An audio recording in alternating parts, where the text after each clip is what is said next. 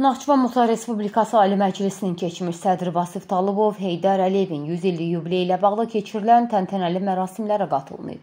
Talıbov dünən və bu gün ictimaiyyət arasında görünməyib. Heydər Əliyevin Naxçıvan şəhərindəki abidəsini də ziyarət etməyib.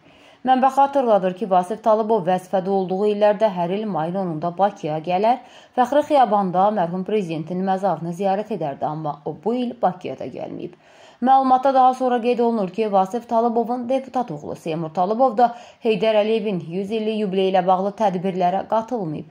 Mənbə xatırladır ki, o Azərbaycan Şahmat Federasiyasının vitse-prezidenti kimi hər ilin may ayında Naxçıvanda Heydər Əliyevin xatirəsinə əsr olunmuş beynəlxalq şahmat turniri düzənləyirdi. Talıbov bu il ənənəsini pozmalı olub. Görəsən Talıbovların Heydər Əliyev sevgisinə nə oldu?